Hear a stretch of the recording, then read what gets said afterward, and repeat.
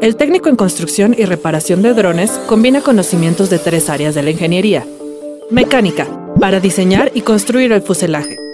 Electrónica, para vincular las placas del controlador de vuelo con el resto de los componentes electrónicos. Y software, para desarrollar el código que controla al piloto automático.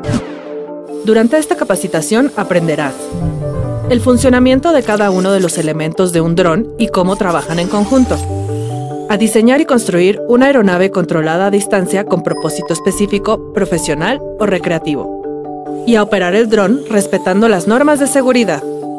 Este conjunto de habilidades permite al técnico en construcción y reparación de drones integrarse en diversas áreas profesionales y productivas que día con día encuentran en sus habilidades una herramienta indispensable para su desarrollo.